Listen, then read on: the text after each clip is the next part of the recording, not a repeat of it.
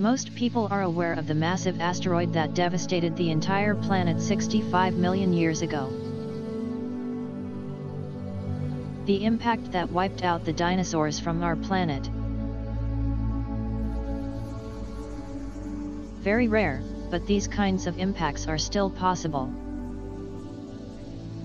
In order to protect our planet from asteroids' threat, the researchers at NASA's Jet Propulsion Laboratory closely monitors the movements of asteroids, approaching close to Earth by studying data provided by various telescopes and observatories.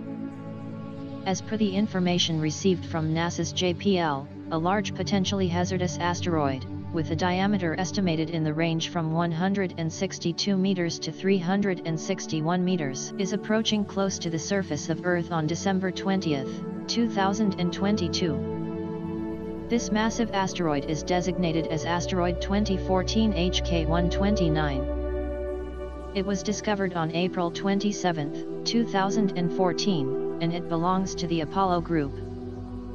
It makes one orbit around the Sun in 810 days.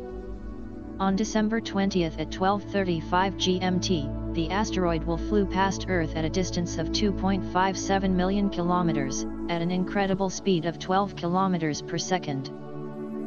The researchers at NASA's JPL has confirmed that asteroid 2014 HK129 will not strike Earth in his current close approach, and does not cause any damage to our planet.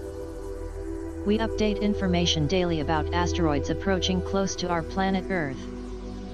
If you like our video, please feel free to support us with a thumbs up, and also don't forget to subscribe our channel Space Life Zero.